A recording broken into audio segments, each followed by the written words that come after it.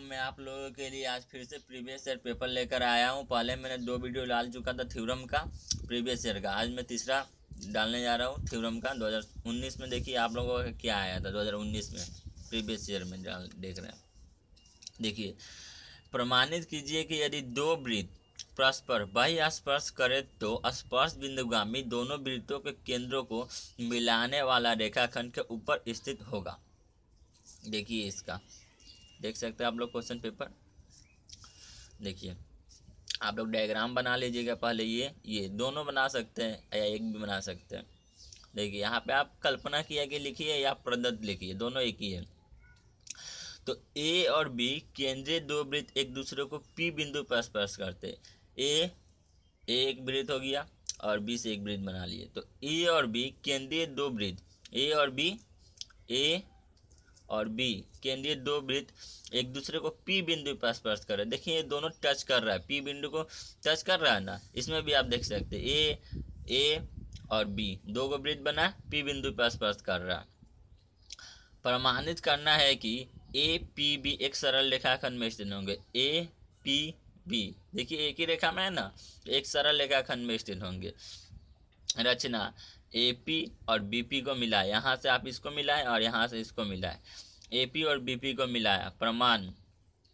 P दोनों वृत्तों का स्पर्श बिंदु है। पी देखिए, ये एक वृत्त हो गया और ये एक वृत्त हो गया। दोनों का स्पर्श कौन कर कौन कर रहा है? पी बिंदु स्पर्श कर रहा है। तो पी दोनों वृत्तों का स्पर्श बिंदु है। इसमें भी देखिए, अब दो वृत्त बनाए एक एक बाहर से, एक अंदर से। यहाँ पे पी बिंदु पे आपका स्पर्श कर रहा है। तो पी दोनों वृत्तों का स्पर्श बिंदु है। स्पर्श बिंदु है।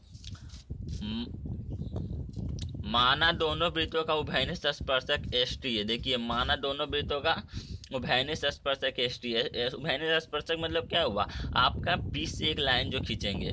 तो देखिए, आपका ये एस टी उभयनिष्ठ स्पर्शक होगी आपका। माना दोनों वृत्तों का उभयनिष्ठ स्पर्शक एस टी है। एक केंद्र वाले वृत्त की एस टी स्पर्शक है वो ए पी स्पर्श बिंदुगामी एक अर्धव्यास है।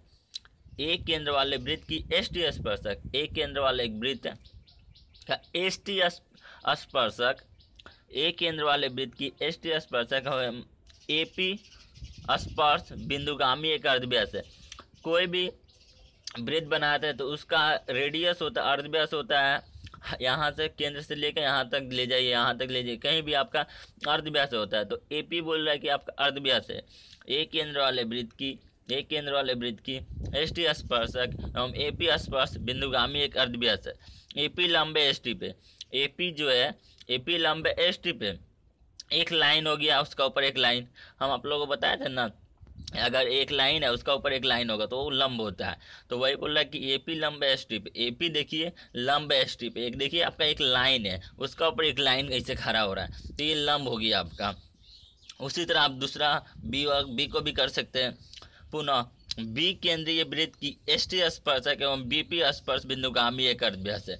बी केंद्र वाले वृत्त की एस टी स्पर्शक एवं बीपी स्पर्श बिंदुगामी एक अर्धव्यास है। ये जब का, ये जब आपका अर्धव्यास यहाँ से यहाँ तक हुआ तो इसका भी तो अर्धव्यास होगा यहाँ से यहाँ तक। तो बीपी स्पर्श बिंदुगामी एक अर्धव्यास है। तो बीपी लंबे एस टी पे। देखिए बीपी हो बीपी जो है एस टी पे लंबे देखिए, एक लाइन है, उसका ऊपर एक लाइन है तो लंब होता है। तो देखिए, एक लाइन दिया हुआ है। और उसके ऊपर एक लाइन डाल रहे तो ये लंब हुआ ना। एक ही सरल रेखा एस टी के पी बिंदु पर ए पी और बीपी बीपी लंब है। एक ही सरल रेखा एस टी है, उसके ऊपर ए पी देखिए, इधर से भी लंब हो रहा है और इधर से भी लंब हो रहा है। तो ए पी और बीपी क्या है? लंब है। ए पी और बीपी एक ही सरल रेखा में स्थित होंगे। ए पी और बीपी एक ही सरल रेखा में स्थित है कि नहीं? देखिए। ए पी और बी पी एक ही सरल रेखा में स्थित होंगे। अर्थात ए पी बी एक ही सरल रेखा में स्थित है। ए पी बी एक ही सरल रेखा में स्थित है। ए पी बी एक ही सरल रेखा में स्थित है कि नहीं? होगी आपका पाँच नंबर का, पाँच नंबर का थ्योरम होगी आप लोगों को पाँच मिनट के अंदर याद कर लेंगे। अगर आपको इस इस वीडियो को दो से तीन बार देखेंगे तो आपको अपने आप याद हो जाएगा। अगर वीडियो अच्छा लगा तो ज़्यादा से ज़्यादा शेयर करिए सब्सक्राइब करिए। धन्यवाद।